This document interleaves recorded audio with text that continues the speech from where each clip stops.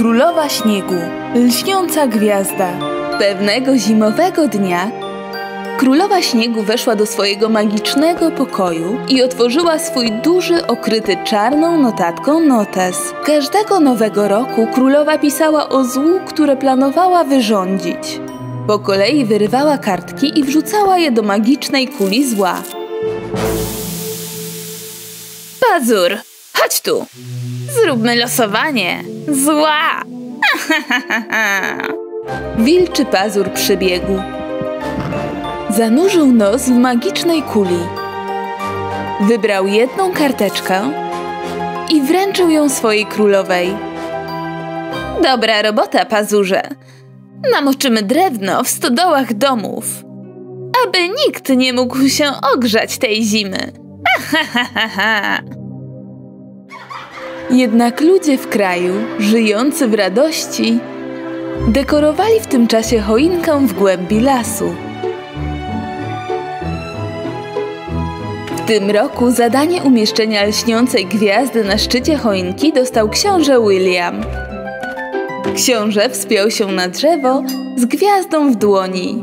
Wspinał się i wspinał, tak wysoko, że kiedy spojrzał w dół, ludzie wyglądali na malutkich.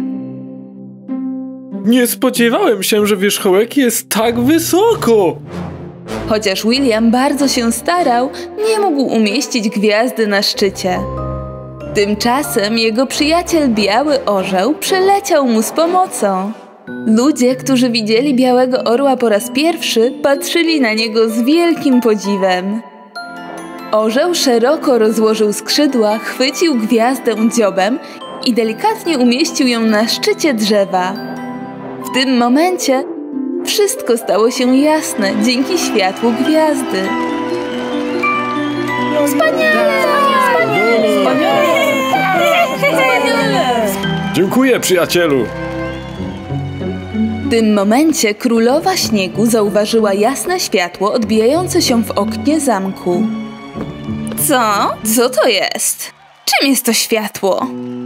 Kiedy patrzyła w kierunku światła razem z wilkiem, królowa widziała ludzi, którzy tańczyli i bawili się i chciała jak najszybciej to zakończyć.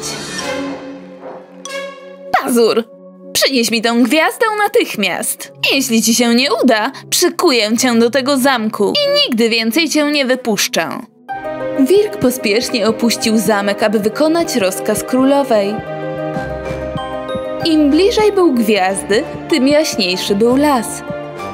A wilk widział radosnych ludzi dookoła. Po chwili wilk, który zbliżył się do ogromnej choinki, szybko biegł i wspiął się na drzewo, kiedy nikt go nie widział. O, popatrz. To wilk królowej! O nie! Zniszczy nasze drzewo! Właśnie kiedy wilk miał zrzucić gwiazdę swoją potężną łapą, pojawił się przed nim biały orzeł. Nawet nie myśl o zniszczeniu tej gwiazdy, dziki wilku. Eee, cokolwiek zrobisz, zaniosę ją mojej królowej. Orzeł machał potężnymi skrzydłami z prawej do lewej i zrzucił wilka z drzewa. Za każdym razem, gdy wilk pazur wyciągał swoje ogromne pazury do orła, ten odpędzał go swoimi skrzydłami. W końcu orzeł wzbił się w górę nad wilka i zrobił potężny wiatr machając skrzydłami. Wilk odleciał z siłą wiatru, a potem upadł na kamień. Wilk pazur, którego pazur został uszkodzony, zrozumiał, że nie może wygrać z orłem i kulejąc wrócił do zamku. Orle, nic ci nie jest. O nie! Jego skrzydła są zranione! Co my teraz zrobimy? Podczas gdy królowa niecierpliwie czekała, chodząc tam i z powrotem w swoim lodowym zamku, była zasmucona, kiedy zobaczyła wilka z uszkodzoną łapą, który wrócił z pustymi rękami. Łapa! Co ci się stało? Wybacz mi, moja królowo. Bez względu na to, co robiłem, poniosłem porażkę. Nie mogłem przynieść ci gwiazdy. Wszystko przez tego białego orła. Królowa była tak wściekła, że podniosła ręce i stworzyła wir lodowy, który ją otoczył, a następnie odleciała i poleciała do lasu. Podczas gdy mijała drzewa, niszczyła je jedno po drugim.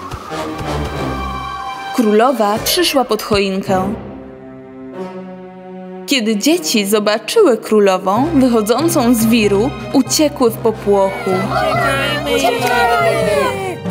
Wszyscy zostaniecie ukarani za nieposłuszeństwo wobec mnie!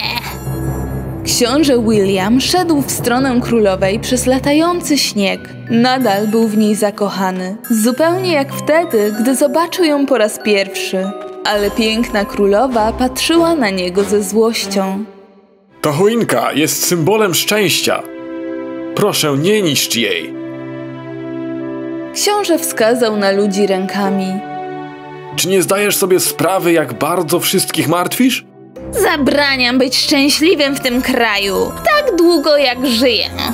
Królowa posłała błyskawicę z jej rąk do nieba. I zaczął się lodowy deszcz. Podczas gdy wszyscy szukali schronienia przed lodem,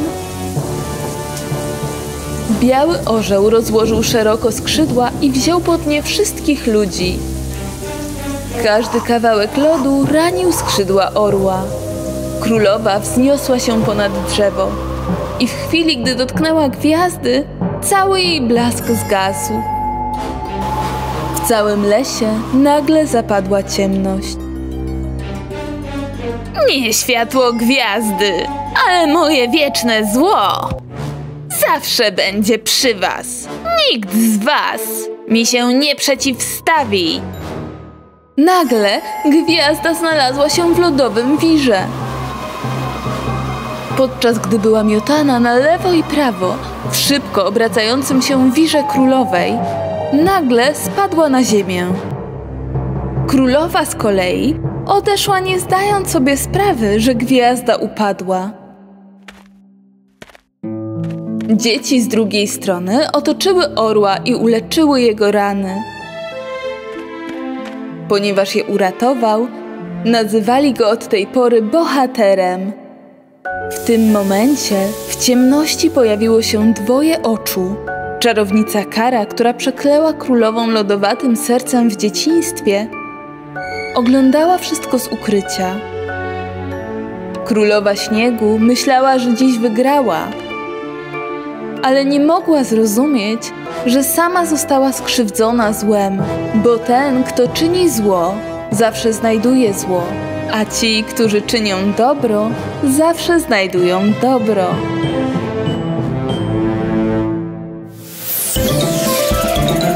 Addis Ababa.